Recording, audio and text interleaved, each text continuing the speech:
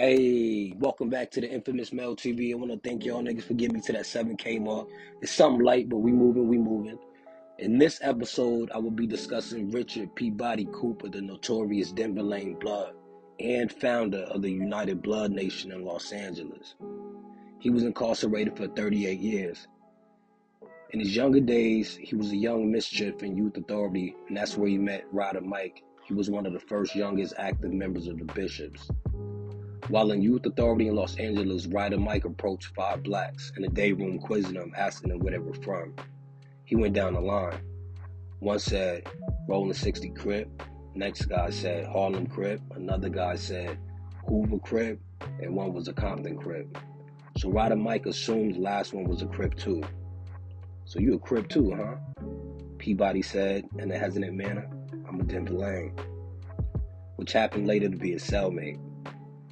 As they both got back to the cell, Peabody offered Sims, aka Rida Mike, to read his court transcripts.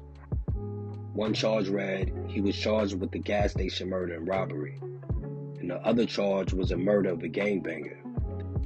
The transcripts read that Peabody had drawn a casket on the sidewalk with a spray paint and made a crip lay in it. This sent shockwaves throughout the gang community as well as the prison community.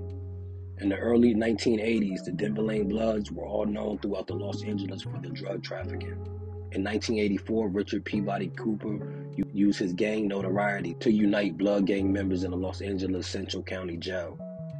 Cooper came up with a concept called UBN, United Blood Nation, in which he would establish a set of rules and regulations that all bloods in a high power module at the men's central jail had to follow. This structure ultimately worked to bring an end to the blood on blood violence. The success of UBN was based on a scale of drugs which smuggled in through his attorney and through other bloods who were paid to bring in heroin and cocaine by getting arrested for minor charges. Cooper established a storefront which every night a certain and equal amount of supplies, including narcotics, was passed around to each cell. Cooper wanted the UBN to become financially stable enough to ultimately buy or secure their freedom through the use of capable attorneys.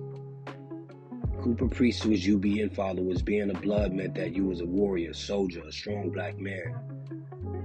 After reviewing a debriefing report from a former UBN member, the Black Guerrilla family may have had a large influence with the constitution of the UBN. The debriefing report identified an individual named John Clutchette as the writer of the Constitution. John Clutchette was a comrade George Lester Jackson, founder of BGF. And while housed with Ronnie, Lil Ron Cooper, younger brother of Richard Peabody Cooper at Folsom Prison, created a constitution that was later forwarded to his brother Richard Cooper. During the last few years, correctional and custody facilities have noticed a large dropout rate of the UBN members due to Cooper's inconsistent behavior. Cooper has allowed rival prison gangs and destructive groups to take control of major drug deals. Former cellmate Michael Sims, aka Rida Mike from Bishops, recalled Peabody's somewhat unloyal behavior years back when Peabody was released from youth authority, decades back. Upon Cooper's release, he had given his TV and radio to a little crip named Pinky from Rolling 60 Crip instead of one of his blood relatives. That didn't sit well with many of the Bloods.